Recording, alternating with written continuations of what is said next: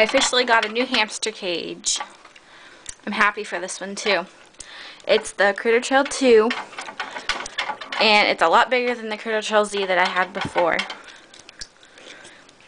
And they really like it. But the second platform that had been up here, I took it out because it was falling and hitting the wheel and then they couldn't run or get water or get access to their water because the water bottle was up there. So I went ahead and bought this water bottle here that hooks to the side of the cage and took the other platform out. And they do share the wheel. Like Garfield will run for a while and then Nibbler will run. So it's really nice. And they usually just sleep up there in that little nook. And the wheel says that it's quiet as a mouse, but that is not quiet at all.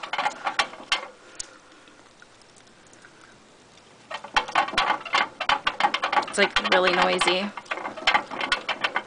Nibbler's gonna shove his face full of food.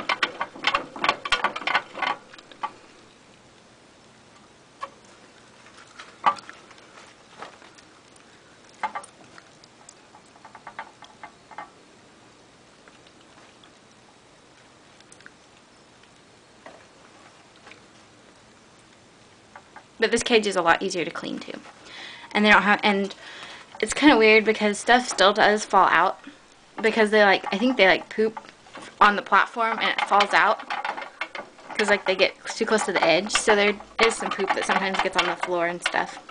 Or actually on the paper, newspaper.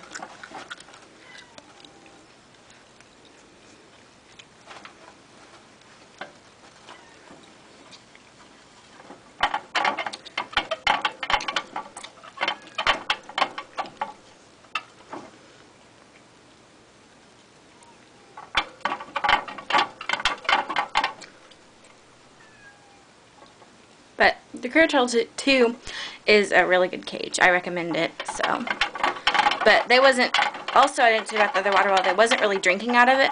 I had never seen them drink out of it.